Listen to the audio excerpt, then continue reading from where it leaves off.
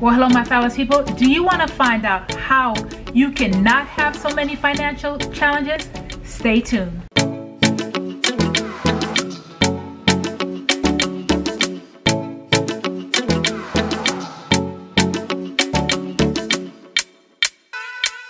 Well, hello, my fellow people. I am Mellonie Warren, Teacher Mellonie, Coach Mel, whatever floats your boat.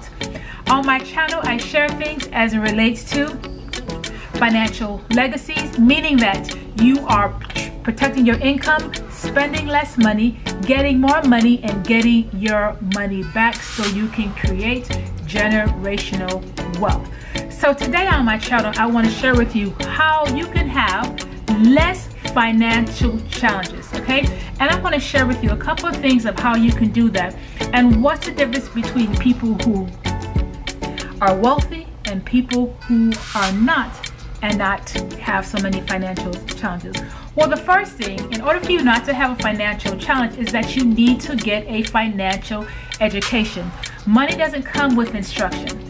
And unfortunately, in schools, money is not taught enough. And there is a reason why that was taught. Because back in the days of the Rockefeller, in the industrial age, as a matter of fact, they just wanted to have workers instead of thinkers. So they kept people in bondage and, and not allow them to understand or teach them in the educational system how money works. And that's one thing what wealthy people do at wealthy families is that they get a financial education.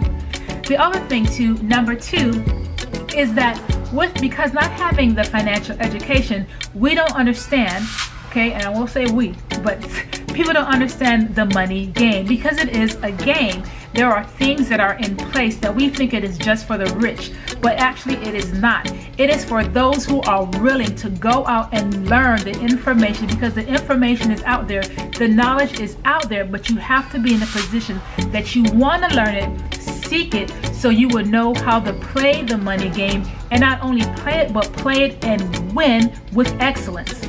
The other thing, last but not least, is that you need to have a financial coach wealthy people have a financial coach. They they understand the the importance of getting a financial ed education. They understand the money game and they understand the need of getting a financial coach. So I say that to you if you do not if you do not have a financial coach, I would love to be your financial coach so you can understand and get rid of all the challenges and defeat as it relates to your financial struggles. So below you see a link you can book an appointment with me and I can help you to get on the right path so you can, as I said, spend less money, get more money, get your money back and create generational wealth.